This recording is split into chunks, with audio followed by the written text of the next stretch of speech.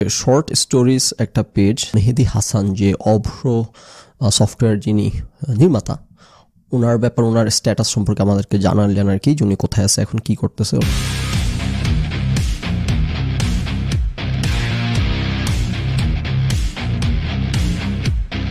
তো সেই পোস্ট থেকে আমরা জানতে পারতেছি মেহেদি হাসান উনি পড়েন ময়মনসিংহ মেডিকেল কলেজে এবং এই মুহূর্তে উনি থাকেন হচ্ছে জার্মানির বার্লিনে এবং কাজ করছেন ইনফ্রাস্ট্রাকচার সফটওয়্যার ইঞ্জিনিয়ার হিসেবে কন্টেন্ট ফুল নামে একটি মাল্টিন্যাশনাল কোম্পানিতে এছাড়া ইতিপূর্বে উনি মেডিকেল পড়াশোনা শেষ করে হাঙ্গরি নাকি, তারপর সপুপ এর মতো কোম্পানিগুলোতে সফটওয়্যার ইঞ্জিনিয়ার হিসেবে কাজ করেছেন। রাইট ওকে এখানে ইন্টারেস্টিং এবং কিউরিয়াস পার্টটা হচ্ছে, আমরা দেখতে পাচ্ছি উনি দেশে থাকেন না, উনি জার্মানিতে থাকেন।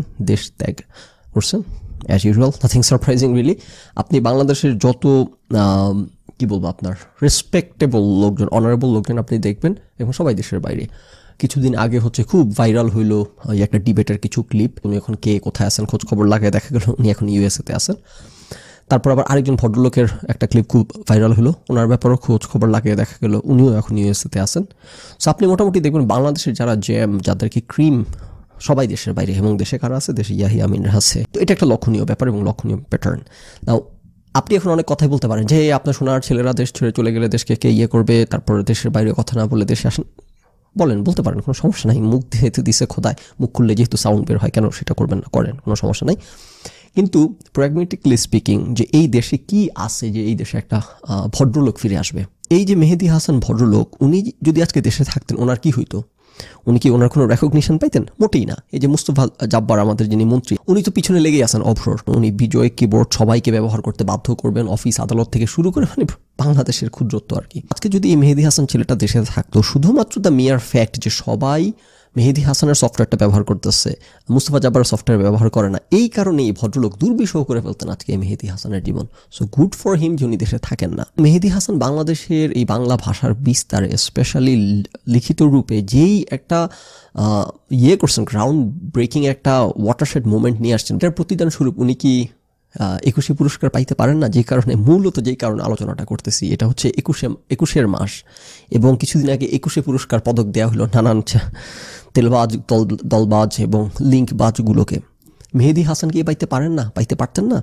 আজকে যদি এই লোক দেশে থাকতো, একে তো বললাম, আমাদের মন্ত্রী সাহেব সম্ভবত পেছনে লেগে থাকতেন, যতভাবে সম্ভব স্কোয়াশ করার চেষ্টা করতেন, ক্ষতি করার চেষ্টা করতেন। শুধুমাত্র দ্য মিয়ার ফ্যাক্ট লোকজন ওনার কিবোর্ডটা ব্যবহার করে। এই অপরাধ, এটা একটা অপরাধ, কেন লোকজন ওনারটা পছন্দ করতেছে রাইট তো এই একুশে পদগুলো কাদের জন্য চালু করা হয়েছে? আজকে যদি মেহেদি হাসান না পায়, তাহলে কারা পাবে? ও শুভ্রদেব পাবে না? আচ্ছা শুভ্রদেবরা পাবেন।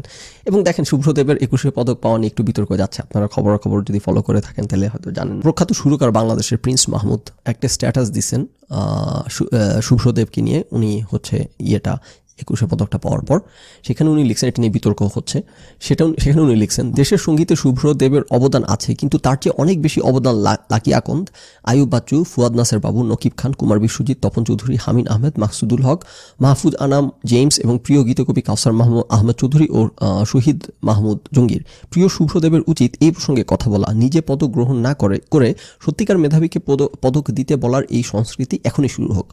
না, অবশ্যই ক্লিয়ারলি এটা একটা ওয়াট ওয়াট অ্যাবাউটিজম হইতেছে, যে অমুককে পদক দিলে তমুককে কেন দিল না, তমুক পেলে তমুক কেন পাইলো না, এই, এইগুলোর তো কোনো শেষ নাই এনলেস রাইট এখন উনি যে যাদের নাম উনি এখানে উল্লেখ করছেন, যেমন ধরেন লাকি এখন আয়ুব বাচ্চু, ফুয়াদ নাসের বাবু, এদের কাউকে যদি দেওয়া হয়তো ফুয়াদ নাসের বাবু, তখন কি বলা যেত না যে ফুয়াদ নাসের বাবুকে দিলে কেন আই আজম খানকে দেওয়া হবে না, কথার কথা। তো এইগুলোর তো কোনো শেষ নাই, সেই সেন্সে এই স্ট্যাটাসটা কোনো মানে বহন করে না, কিন্তু এই স্ট্যাটাসটা আসলে খুব সম্ভবত মানে বহন করে। এখানে উনি যেটা মিন করতে চাচ্ছেন পটেন্সিয়ালি আমার যেটা মনে হচ্ছে স্ট্যাটাসটা পড়ে, শুভ্রদেবের উচিত এই প্রসঙ্গে কথা বলা, নিজে থেকে পদক গ্রহণ না করে সত্যিকার মেধাবীকে পদক দিতে বলার এই সংস্কৃতি এখনই শুরু হোক। সত্যিকারের মেধাবীকে পদক দেওয়ার সংস্কৃতি জানি এখনই শুরু হয়। তাইলে এখনকার সংস্কৃতিটা কি? উনি বুঝাতে চাচ্ছেন যে মেধাবীকে পদক দেওয়ার সংস্কৃতি চালু নাই। ওকে তাহলে এখন কি সংস্কৃতি চালু আছে? সেইটা আমরা খবরাখবর থেকে জেনে থাকি। বাংলাদেশে যত পদক উৎসব আছে এগুলো সব হচ্ছে পান্ডামি। সোনার বাংলায় পান্ডামি নাই এমন কোনো এরিয়া আছে কি বলি আপনাদেরকে? এমন কোনো এরিয়া নাই এমন কোনো প্রফেশন নাই যেখানে হইতেছে। ওকে মানুষের যত পদক দেওয়া এগুলো সব হচ্ছে লবিং এবং টাকা খেয়ে টাকা খেয়ে সাংবাদিকরা চাঁদাবাজি করে টাকা খেয়ে হইতেছে পদক বেচা বিক্রি হয়। সোনার বাংলার কি আর কি বলব আপনাকে তো জানেন না গিলা। অবশ্যই জানেন না বোধহয়, অনেকে আছেন আবার চেতনাবাদ। এক আপু আমার পোস্টে কমেন্ট করছেন, কালকে একটা আলোচনা করছি আর কি যে চমক হাসানের মেয়ে আজকে আমেরিকাতে জন্মাইছেন, উনি যদি কখনো, হয়তো বাংলাদেশে কখনো যাবেন না, থাকবেন না, যদি কখনো ঘুরতে যান তারপর গিয়ে একটা হেনস্থার শিকার হইলে, এই যে বাবা মা যে টেসে টেসে বাংলাদেশ সোনার বাংলার গল্প শোনাচ্ছে সব কিছু মাঠে মারা যাবে যদি বাংলাদেশে গিয়ে কখনো হ্যারাসমেন্টের মধ্যে পড়ে। এটা বলে এক আপু সে প্রতিবাদ জানাইছেন যে, আপনি এইভাবে এই কথাটা বলতে পারেন না।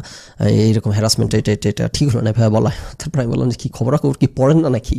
রাজধানীর কল্যাণপুরে ইবনেসিনা মেডিকেল কলেজ হাসপাতালে চিকিৎসা নিতে আসা রাশিয়ার এক কিশোরী যৌন নির্যাতনের শিকার হয়েছে কেন ঠিক হবে না? তারপর উনি বললেন যে, কেন ভাই, কী হয়েছে? তখন একটা লিঙ্ক দিলাম। দুই দিন আগে একটা রাশিয়ান মেয়ে বাংলাদেশে এসে যৌন হয়রানির শিকার হয়েছে। সো ওনাদের দুই দিনের কোনো হুশ নাই। সোনার বাংলার মধ্যে কী চলে? আচ্ছা দেখেন, আপনার খবর পড়ে জানতে হবে কেন? ধরেন, দুই দিন আগে ঘটনাটা ঘটে নাই। আপনারা কি জানেন না বাংলাদেশে কি হয়, কি চলে? তো এই যে বাংলাদেশের এই কালচার এই যে ধরেন পুরস্কার নিয়ে পান্ডামি করার, সকল কিছু নিয়ে পাণ্ডামি চলে। আমরা এখন পুরস্কার নিয়ে কথা বলতেছি। সো এই একুশে পদকটা এবং, ও আচ্ছা যেটা বলতেছি, যে প্রিন্স মাহমুদ এই স্ট্যাটাসটা পটেনশিয়ালি আমি যা বুঝি, ইঙ্গিত করতেছেন উনি যে, এই যে একুশে পদক নিয়ে যে রাজনীতি হয়। এবং ইউ মাইট ওয়ান্ডার যে out of nowhere Subhradev হঠাৎ করে কেন পাইতে গেলেন পুরস্কার? কোথাকার, কবেকার, কোন লোক? এবং শুভ্রদেব এমন কেউ না যে এত বছর পর এসে মানে ঠিক আছে, আমরা ছোটবেলায় শুভ্রদেবের গান শুনে বড় হয়েছি, আমরা যখন ছোট ছিলাম তখন শুভ্রদেবের গান বাঁচত যে এমন আমার পাথর তো নয় সব ব্যথা। দুই তিনটা গান শুভ্রদেবের অনেক বেশি গান কিন্তু না, একুশে পদক পাওয়ার মতো কিছু I don't necessarily think so তো এত বছর পর উনি কেন পাইলেন? প্রিন্স মাহমুদের লেখা থেকে আমি যেই ধারণাটা পাচ্ছি, যেইটা আমরা জানি, সোনার বাংলায় যা চলে হয়তো নৌকার লোক টোক হয়ে থাকতে পারেন আর কি দেখেন, অনেকে চলে আসবে কমেন্ট সেকশনে যে না ইন দিস পার্টিকুলার কেস নৌকার লোককে দেওয়া হয় না। আপনি কথাটা বলতে পারেন ওরে গাধা। In this particular case exactly কি হয়েছে that is not our point of discussion আমার পয়েন্ট অফ আমাদের পয়েন্ট অফ ডিসকাশন হচ্ছে এই কালচারটা দেশে বিরাজ করে। এই এক্স্যাক্ট শুভ্রদেবের সাথে এটা না হোক আরও হাজার টনের সাথে এই ঘটনা ঘটতেছে রাইট ওই যেমন গতকালকে ইয়ে মেডিকেলের ইয়েটা নিয়ে আলোচনা যখন করছি যে প্রেসক্রিপশন দেওয়া নিয়ে বা এই আমেরিকাতে কীভাবে পুই পুই করে এনশিওর করা হয় যে একটা রোগীর জানি কোনো ভুল বোঝাবুঝি না হয় ওষুধের ডোজ নিয়ে। এবং আমি আলোচনা করার সময় ট্রাস্ট নিয়ে আমি জানতাম যে এই কমেন্টটা আসবে যে বাংলাদেশ গরিব দেশ, জনসংখ্যার দেশ, এখানে এটা সম্ভব না, ওইখানে ওইটা সম্ভব না। যে আলোচনা হাজার পর্বে করছি, যে সব এই চোরগুলো আসে খালি। না না, এই চোরগুলোর হইতেছে, ইয়ের কোনো অভাব নাই এক্সকিউজের কোনো অভাব নাই দিন শেষে। দুই দিন আগে একটা পর্ব আলোচনা করছি না যে আপনার ফুটপাতের উপর মেট্রো রেলের পিলার খাড়া করাই দিছে। সো তখন আলোচনা করছি যারা দেখছেন যে মেট্রো রেলের পিলার ফুটপাতের উপর খাড়া করাইছেন, কোনো সমস্যা নাই। এখন এই যে রাস্তা দিয়ে মানুষ হাঁটাচলা করবে, অন্ধকারে এখানে কোনো লাইটের ব্যবস্থা করা হয় না একটা সাইনবোর্ড লাগানো হয় নাই, অন্ধকারে এখানে মাথায় বাড়ি খেয়ে কত মানুষ বাংলাদেশে ম্যানহোলের ঢাকনা দিয়ে পড়ে মারা যায়। এটা কি এতই গরিব দেশ যে একটা লাইট লাগানোর যে আচ্ছা ঠিক আছে, মানলাম, ফুটপাতের উপরে একটা খাম্বা ধার করায় ফেলছিস তোরা। একটা লাইট লাগানো না, একটা সাইনবোর্ড দেওয়া না, মানুষকে সতর্ক করা না যে এখানে একটা অ্যাক্সিডেন্ট হবে। ওই টাকাটাও নাই।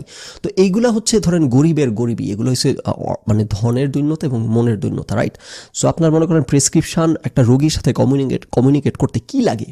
কি রিসোর্সেসের কারণে বাংলাদেশের চোরগুলো, বাংলাদেশের ডাক্তারগুলো, পান্ডাগুলো, সন্ত্রাসীগুলো রোগীর সাথে কমিউনিকেট করতে পারে না? একটা মহিলা ওভারডোজ হয়ে মৃত্যু পথযাত্রী হয়ে গেছে। ঠিক আছে, মানলাম, আমেরিকার মতো এরকম পঞ্চাশটা কপি এমন পঞ্চাশ জায়গায় লিখা, গরিব এগুলো এগুলো নাকি গরিব আচ্ছা যা হোক।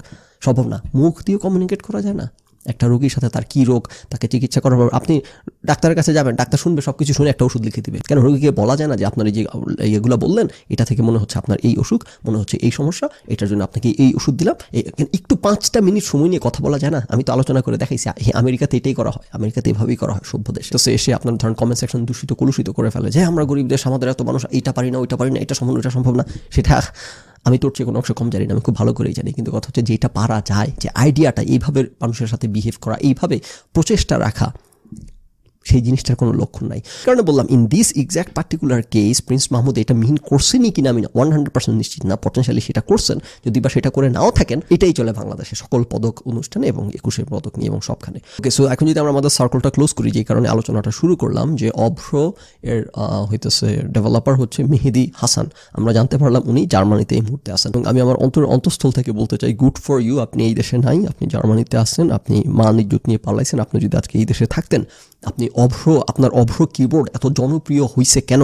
এই জনপ্রিয় হওয়ার অপরাধে আপনার জীবন দুর্বিসহ অতিষ্ঠ, তটস্থ করে রাখা হইতো আপনাকে। সো গুড ফর ইউ আপনি দেশ ছেড়ে পালাইছেন।